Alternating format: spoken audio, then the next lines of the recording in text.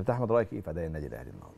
لا ما عجبنيش النهارده. أصلا. طبعا. آه. انت انت انت واصل من مصر خلاص يعني بنسبه 95% واصل من مصر. الفرقة فرقة وفاء سطيف فرقة يعني مش من الفرق القوية اللي تخوف. فرايح هناك انت الماتش مضمون. أنا كان بالنسبة لي لازم آه، تقدم رسالة لفريق الوداد ان انت النادي الاهلي وان انت ممكن تكسب اي فرقة. حتى انت مش محتاج الماتش يكسبها خمسة أو ستة ليه على ملعبها ان انت تلعب الوداد على ملعبه. فانت بالنسبة لك لازم تبقى تحسس فرقة الوداد إن أنت لأ أنا هاجي على ملعبك اكسبك أنا كمان. لكن أداء النهارده أعتقد هيطمع فرقة الوداد في الأهلي. بس ما هو الوداد امبارح لعب مباراة وحشة أوي قدام بترو اتلتيكو وتعادل على ملعبه في المغرب واحد واحد مع بترو اتلتيكو بيترو اتلتيكو فرقة قوية جدا آه. يعني أنا مش عارف خسروا إزاي على ملعبهم بالوداد آه. فريق الوداد فريق يعني أقل من العادي آه.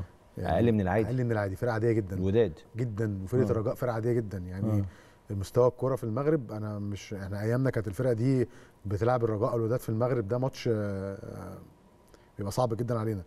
فأعتقد إن لا النهارده إن أنت الفرقة زي دي آه، فرقة ضعيفة زي وفيها سطيف مكسبناك 2-1 لحد الدقيقة آه، 92 وتتعادل معاها في الآخر أنا ما أعتقدش إن دي كانت رسالة كويسة بيقدموا يعني بي بيقدموها للوداد يعني طب إيه اللي ما عجبكش النهارده في الملعب يعني إن أنت جبت جون في أول ماتش خلاص. ده يعني أنت بتشوف ال- أي فرقة في الدوري الإنجليزي أو في ال Champions League أو أي حاجة حتى الماتش مش محتاجينه لا بيلعبوا بيلعبوا يموتوا نفسهم يعني كان ريال مدريد واخد ال- الدوري وبيلعب اتلتيكو مدريد وموتين نفسهم مغلوبين آخر الماتش موتين نفسهم أنت بتقدم رسائل للفرق مم. الثانية إن أنت مم. كسبان خسران كسبت دوري لا أنا أنا أنا style ي واحد أنت كسبان 1-0 في أول ماتش ما تديهم 5 6 الفرقه دي عادي على ملعبها مم.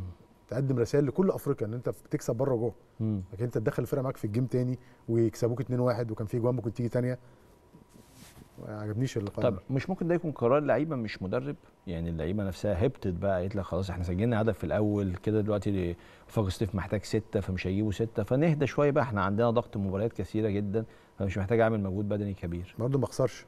آه. يعني أنا هم تعادلوا. أحافظ آه. لا مش قصدي أحافظ على اللي أنا عامله آه. أنا كسبان 1-0 يحافظ على 1-0 يزودها. وأبدأ أقفل. لكن ما أفتحش الملعب لفرقة أصلا ضعيفة جدا كلها اغلبيتها ناشئين الفرقة دي. ويجيبوا فيها جونين ويهددوا المرمى بتاعي ثلاث أربع مرات.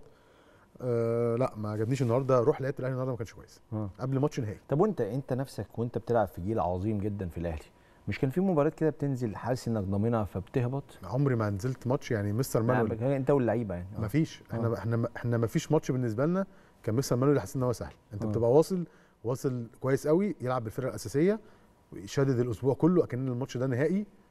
هو كده يبقى انت system ك واحد انت بتكسب كل الفرق بنفس آه. الأسلوب آه. ما يبقاش إيه اكسب في القاهرة وأروح هناك استغلب كده انت بتطمع الفرقه فيك آه. لأن أكيد الوداد النهارده بيتابعوا الماتش صح فأنت أنا لما أكون بلعب فرقة ألاقي مستواها زي كده النهارده لا ده أنا سهل جدا اكسبها على ملعبي. هم كسبوا هناك أربعة وكان مطلوب منهم واحد مم. الفرقة الثانية وفاق سطيف أنا ممكن على ملعبي وأنا كامل أقدر اكسبها مم.